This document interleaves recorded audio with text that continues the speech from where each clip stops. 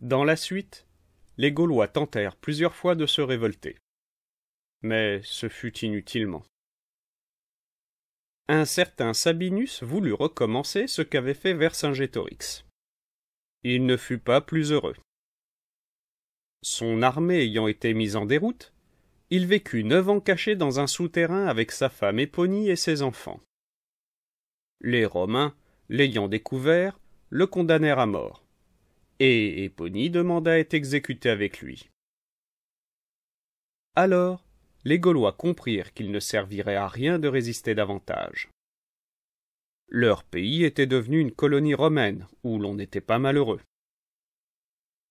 Les vainqueurs leur avaient appris toutes sortes de choses qu'ils ne connaissaient pas. Par exemple, à construire de belles maisons de pierre au lieu de cabanes en bois.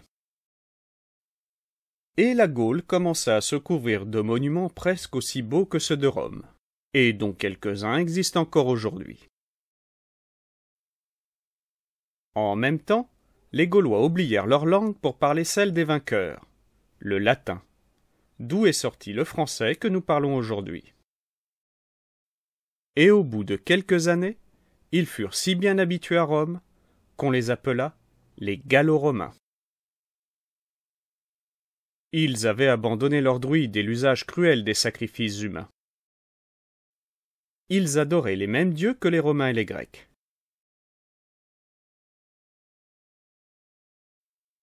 Mais quand le christianisme parut, beaucoup reconnurent tout de suite que c'était la vraie religion et l'embrassèrent avec ardeur.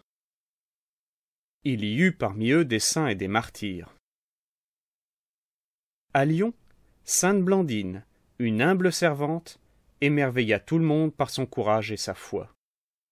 Elle fut livrée dans le cirque à un taureau furieux qui la jeta en l'air avec ses cornes jusqu'à ce qu'elle mourût, sans jamais avoir renié son Christ. Ces exemples émurent les Gallo-Romains, qui peu à peu se firent tous baptisés.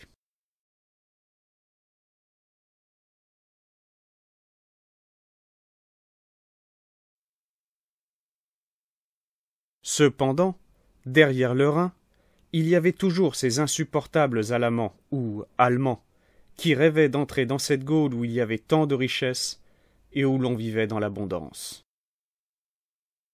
Derrière ces Germains, s'agitait une foule de peuplades. Goths, Visigoths, Ostrogoths, Vandales, Huns, d'autres encore qui n'étaient pas moins avides de bonnes terres, de pillages et de butin. Tout alla bien tant que Rome fut forte. Elle avait élevé sur les frontières de la Gaule une grande muraille, avec des tours de place en place, pour surveiller les barbares et pour les empêcher d'entrer.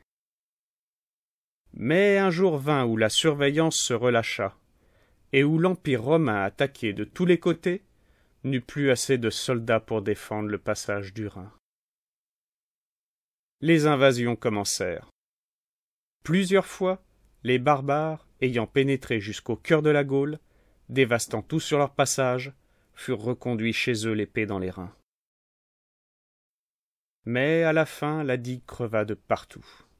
L'Empire romain débordé succomba. Alors une nuée de barbares s'abattit sur notre pays. Il en venait de tous les côtés et de toutes les races. Incapables de résister, les Gallo-Romains s'enfermèrent dans les villes. Et comme personne ne gouvernait plus, comme il n'y avait plus de chef, ils se groupaient autour de leurs évêques qui s'efforçaient de les protéger. Ce fut une époque sombre et désolée, où personne n'était sûr de retrouver sa maison, ni de garder la vie sauve. De ces invasions, la plus terrible fut celle des Huns qui venaient du fond de l'Asie, montés sur leurs petits chevaux. Avec leurs peaux noires et leurs grandes oreilles, ils ressemblaient à des diables ou à des ogres. Ils ne faisaient même pas cuire leur viande et la mangeaient crue après l'avoir écrasée sous leur sel. On appelait Attila, leur roi, le fléau de Dieu, et l'on disait que l'herbe ne poussait plus où il avait passé.